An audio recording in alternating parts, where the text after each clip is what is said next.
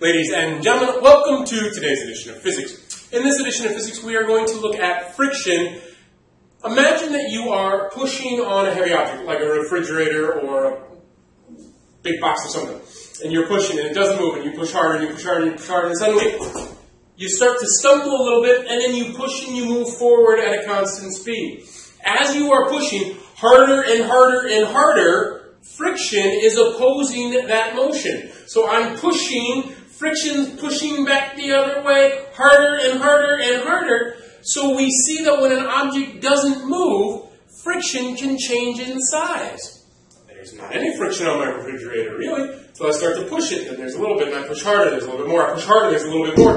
And as I push harder, friction has to oppose more so that my object doesn't move.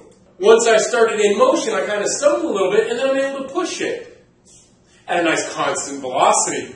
So I see that friction then becomes constant as I'm moving.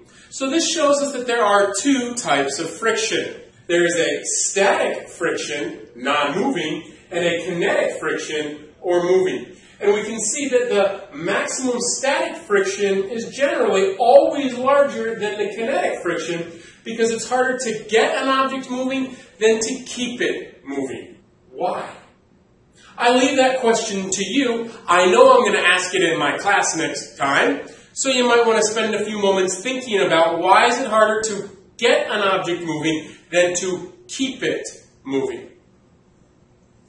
We can see our two types of friction. We have our static F sub S and our kinetic F sub K for our non-moving and moving frictions. Let's look at the cause of friction. If you have a nice smooth tabletop, then it's pretty smooth. But if you get down on a microscopic level and you look at one object sliding across the tabletop, on a microscopic level, the object, here my Penn State water bottle, has some ridges to it. The tabletop also has some ridges to it, and as those ridges grind across one another, friction, it slows down. So on a microscopic level, friction is these bumps and crags grinding across one another causing the object to slow down. We can see that, based on that description, the roughness of the objects affect the friction. Well, that's obvious. If you've ever slid on ice, ice is really smooth. You can go a far distance. There's not a lot of friction. If you've ever slid on concrete, and I have, trust me, it doesn't feel good, you don't go very far because concrete's very rough. There's a lot of friction between you and concrete, very little friction between you and ice.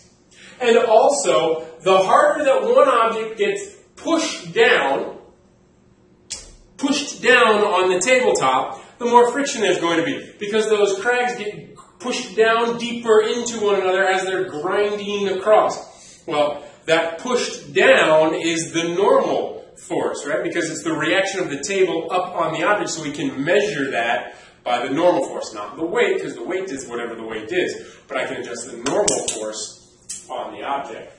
So we see that friction is proportional to our two surfaces that we have, or we have flesh on ice or flesh on concrete, and also the normal force, or how hard one surface is pushing up on the other surface. Our two equations, static friction is always less than or equal to the surface coefficient, mu, times the normal force. This tricks people up sometimes, students up, because they all are so used to saying equals, equals, equals, this one changes. Static friction changes. Remember in the refrigerator, as I pushed harder and harder and harder, it wasn't going anywhere. So as I increase my force, friction increases in the other direction so that it doesn't move. Finally, it slips, and I'm in the kinetic region. As soon as I'm in the kinetic region, I'm back to an equals sign. This is equals at the maximum. You might want to write that down. If you think you're not going to remember it, I am going to remember it, so I'm not going to write it down, but you may want to. And then mu again is our coefficient of friction. Mu is a constant. It's either given to you in a problem or asked you to solve for it. If I don't give you mu or ask you to solve for mu, you can, afford, you can assume that the surfaces are smooth, therefore frictionless. You don't have to deal with any of this crap. Mu is basically the relative stickiness of your two surfaces. How much do they want to bond together?